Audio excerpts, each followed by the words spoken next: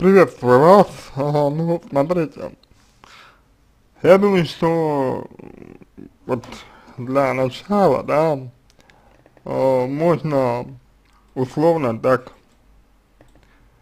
сказать, что вы э, легко можете вбить э, в поиск э, проблему, свою, свою проблему, и получить на эту проблему ответ.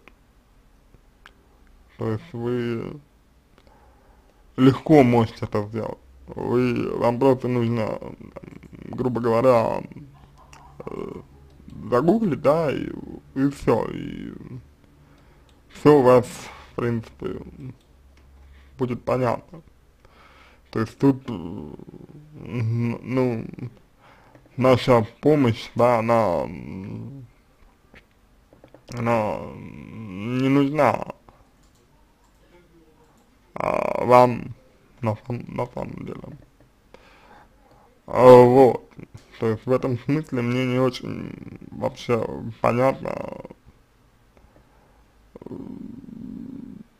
почему вы задаете вопрос так, да, то есть, ну, без э, истории, э, которая у вас, у вас э, безусловно, есть, э, ну, вот, с вами и вашим ребенком, то есть, вот, понять и, там, посмотреть, э,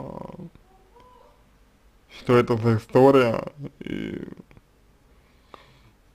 как э, эта история там, э, условно говоря, развивалась на протяжении вот жизни вашего малыша и прочее. То есть об этом почему-то ничего не говорить. А без знания истории нельзя вам помочь потому что непонятно, чего именно ребенок боится зачастую.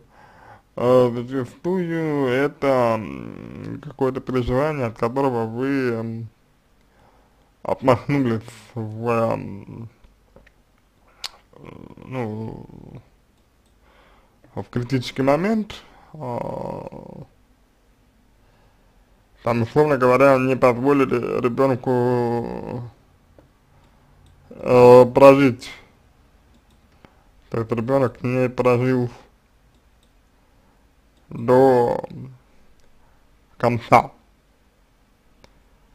ну вот, собственно,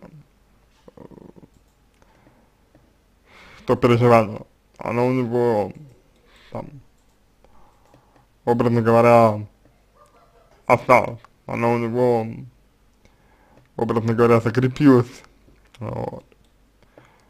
И а, это повлияло на него так, что этот страх не настал. То переживание на переживание оно закрепилось, его нужно раскрепить, его нужно выделить. Вот. Для этого необходимо, конечно, общаться, общаться с ребенком, пообщаться с ребенком, желательно, лучше желательно в ключе, а, в ключе. Клиент, клиент центрированной терапии, вот, клиент ориентированной терапии, очень желательно. Потому что только так, в принципе, можно э, вашему ребенку. Ну, понятно, есть еще а, значит, есть еще игротерапия, безусловно. Вот. Через которую, ну, через которую а, тоже вполне себе возможно э, помочь ребенку. А, вот. Но это уже зависит исключительно от вас.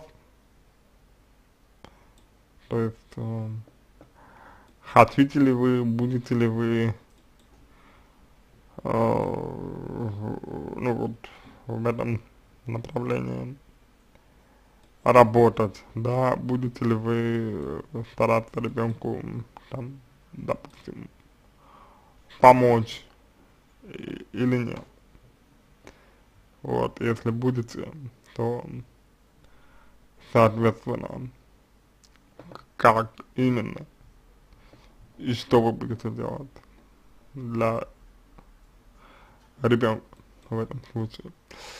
Вот, то есть здесь есть э, нюансы, э, нюансы, нюансов достаточно много, потому что э, ваш ребенок это уже такая достаточно сложившаяся личность, самостоятельная личность, уже 10 лет, ну, вот. И, соответственно, ну, здесь нужно подходить к ситуации максимально серьезно, вот. А исправлять именно ничего не будем, потому что ничего, ничего не сломалось. То есть это не очень хорошая позиция, а, когда вот родитель говорит или думает, э, или ведет себя так, как будто нужно что-то исправлять. Ребенок думает, что что-то не так, начинает стыдиться, начинает э, стыдиться э, своего страха, а тем самым загоняет э, э, страх еще глубже. Вот. Поэтому ни в коем случае не нужно думать, что там, ну, нужно что-то исправлять ребенку. Нет. Нет. А, ничего исправлять а, ребенку не нужно. Вот. А именно, вот, именно а, исправлять ничего не нужно. А если что-то и нужно, то это смотреть, э, собственно, в результате чего эта ситуация вообще произошла. И в чем ребенку нужна помощь. Вот. Это да. А вот э, исправлять что-то, это ну, подразумевается, что что-то неправильно, что-то плохое, это то, что... А проблема вас, к сожалению, отдаляет еще дальше. Вот. А, я думаю, что можно привести некоторые м, психологические основы э, страха полета. Вот, например, психологической основой страха полета является Э, э, желание свободы, то есть ощущение нет свободы у ребенка, э, вот, и, соответственно, страх полета, как переживание некой такой свободы, запреща, э, запрещается самим ребенком, то есть происходит расщепление, а, вот, а, и, соответственно, ребенок начинает бояться полета как проявление того, что он сам себе запрещает. Вот, а здесь нужно, здесь нужно э, работать уже непосредственно с тем, насколько ребенок свободен в взаимодействии, допустим, с вами, вот, свободен ли он во взаимодействии с вами, если свободен, то насколько. То есть я не говорю, что он у вас прям тотально э, под тотальным контролем находится, и что вы там его терроризируете, безусловно, нет. А, но то, что вот име, имеет место какие-то ограничения, которые достаточно болезненны для ребенка, это практически сто процентов, практически сто процентов.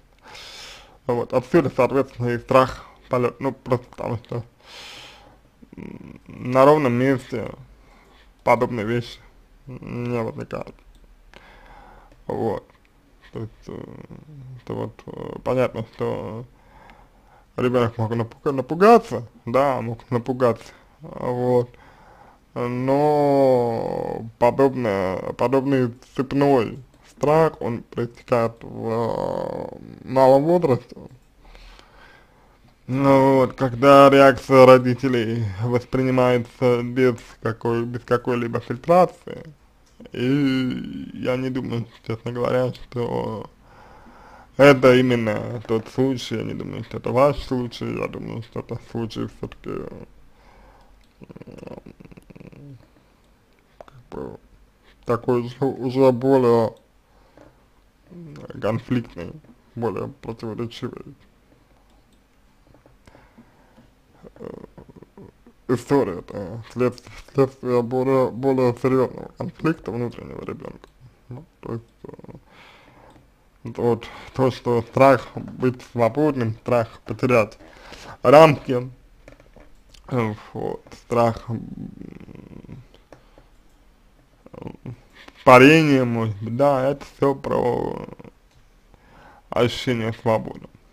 Вот. Больше и, причем ощущение свободы на именно психологическом уровне. Вот, на этом все, надеюсь, что помог вам, если понравился мой ответ, буду благодарен за его оценку в качестве лучшего, я желаю вам всего самого доброго и удачи.